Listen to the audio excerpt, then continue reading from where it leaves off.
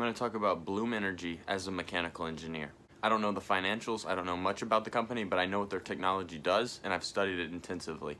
It all started for me as a mechanical engineer when it was time for me to select my first hot water heater for a building. My boss told me that if we would have had natural gas to the location, that we could select any hot water heater that we want, and it does not matter the efficiency. Then he said since we do not have natural gas at the location, we must be extremely cautious about what kind of hot water heater we choose. You must size out how much energy it will take to heat up the water and choose something that will do that and a little bit more. You do not want to oversize a hot water heater. The reason for this is because they are extremely inefficient because they use electric resistive heat. So you could think to yourself, man, I really wish we did have natural gas here, that would be nice. Now, that's the case for hot water heaters and many other kitchen appliances. You will rarely find a full service commercial kitchen in the United States without natural gas. We've all seen the stoves that have the little blue flame coming off of them. In other words, in any case where natural gas could be used, it is preferred.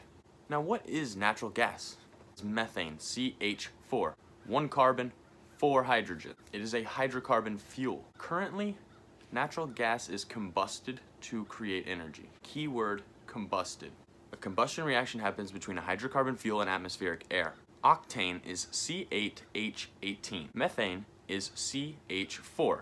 In other words, if you burn the same amount of methane and octane, you are going to get 8 times less carbon dioxide output from the methane. That is because there's one carbon atom compared to 8. We have confirmed that natural gas is preferred when available, and we have confirmed that combusting natural gas has less negative repercussions than octane. Bloom Energy has solved every one of these problems simultaneously. I'm impressed. This is what happened. Bloom Energy said, you want to use natural gas? We got you. Oh, you don't want a combustion reaction?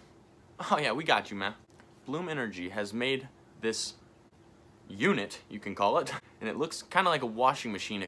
It is an enclosed metal object, if you will. And this object is able to turn methane, natural gas, into electricity with no combustion reaction.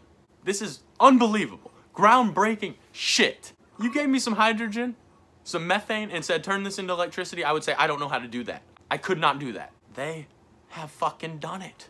How do you achieve this? So where do we go from here? Well, we know that the infrastructure for natural gas is pretty much there already. You see commercials from your local utility company all the time saying that, hey, you can save energy with natural gas. That means either the infrastructure is there or they have no problem putting it in. And here's another positive one for you. Natural gas is less likely to fail. All it takes is one tree falling down and a whole entire county could lose their power. Well, natural gas, the research is there, the literature is there. It seems to actually be unaffected by natural disasters such as hurricanes, tsunamis, and, surprisingly, earthquakes. Now, let's get into where this will be used. Entering the market, Bloom's first customers will be people who are using a shit ton of energy.